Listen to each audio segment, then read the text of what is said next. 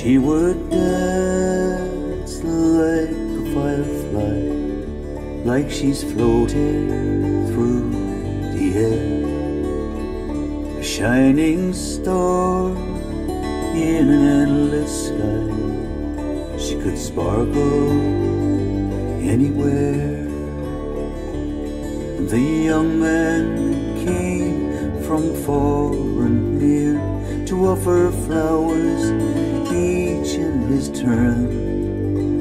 And they would promise their undying devotion for her love in return.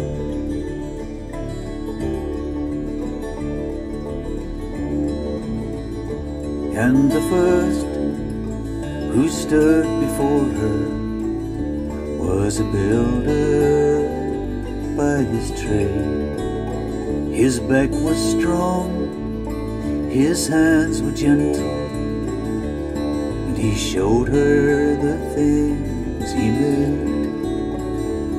I will build you a house in the valley where the stream flows swiftly by, and on the banks of the sweet primroses, you and I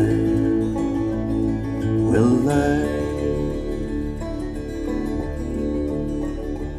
And the next to make his declaration was a young man of high renown standing keen in expectation. He would not be undone. I will give you gold and riches, a diamond ring for your fair hand. Every wish you crave will be granted, and I will be at your command.